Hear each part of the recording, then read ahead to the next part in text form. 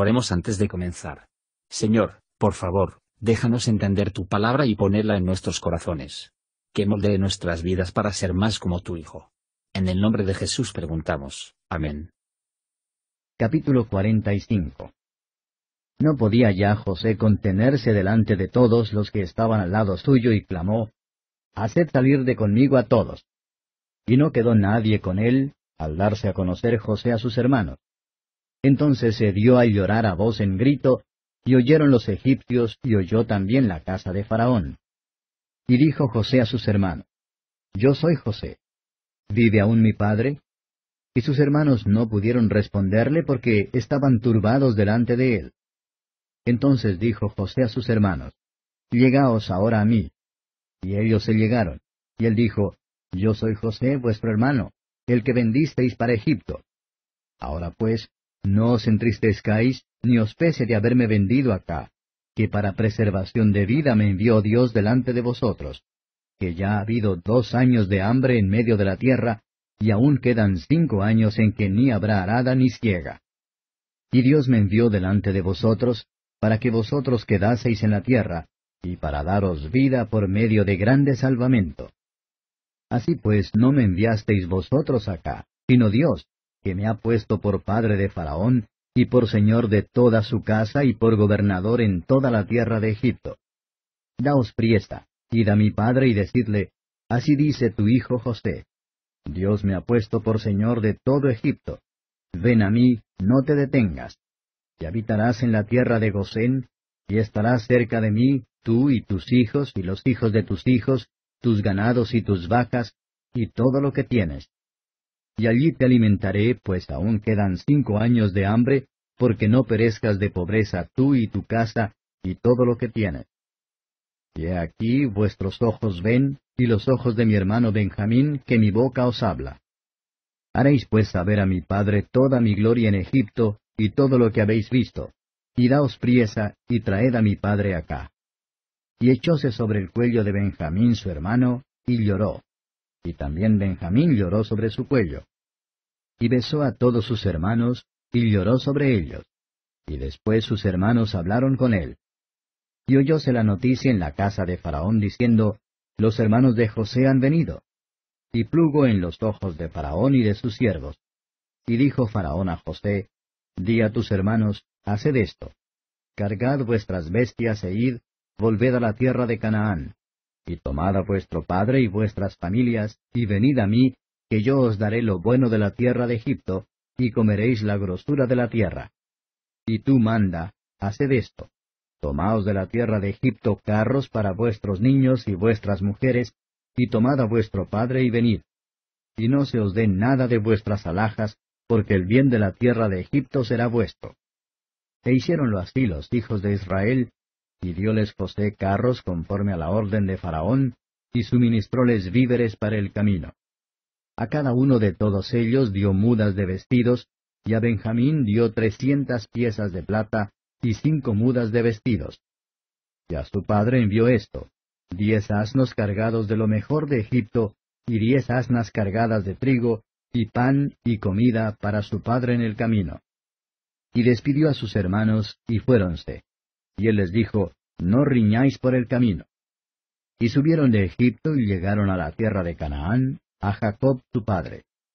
Y diéronle las nuevas diciendo, José vive aún, y él es señor en toda la tierra de Egipto. Y su corazón se desmayó, pues no los creía. Y ellos le contaron todas las palabras de José que él les había hablado. Y viendo él los carros que José enviaba para llevarlo, el espíritu de Jacob su padre revivió, entonces dijo Israel, Basta, José mi hijo vive todavía. Iré y le veré antes que yo muera. Comentario de Mateo Henry Génesis capítulo 45. Versos 1 a 15.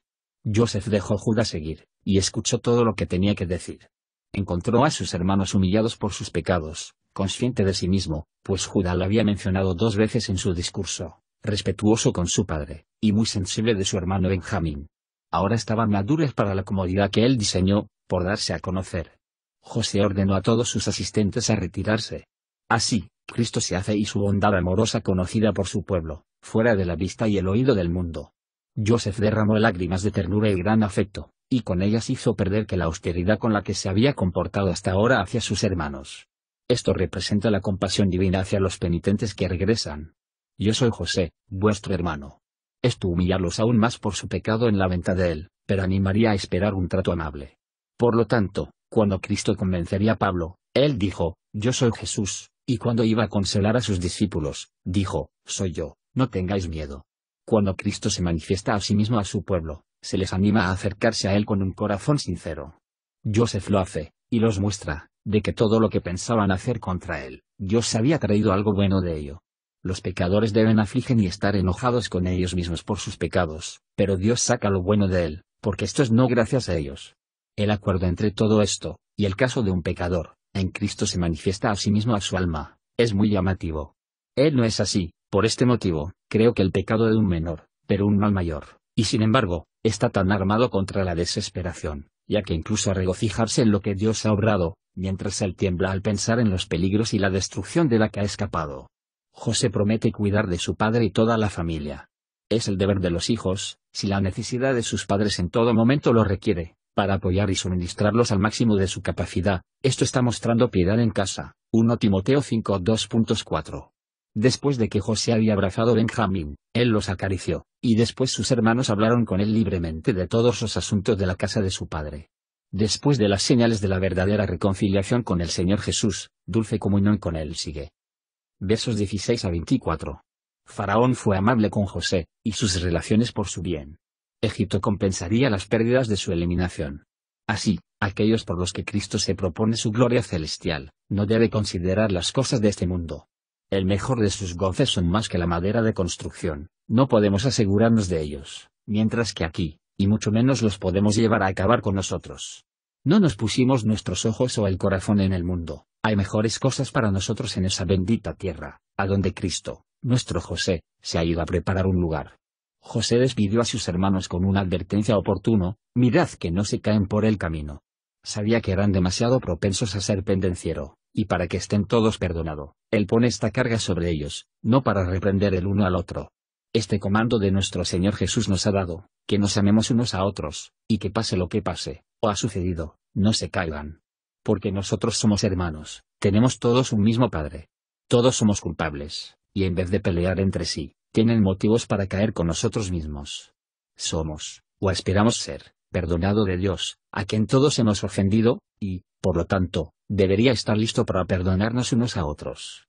Estamos por el camino, un camino por la tierra de Egipto, en el que tenemos muchos ojos sobre nosotros, que procuran aprovechar contra nosotros, un camino que lleva a la Canaán celestial, donde esperamos estar para siempre en perfecta paz.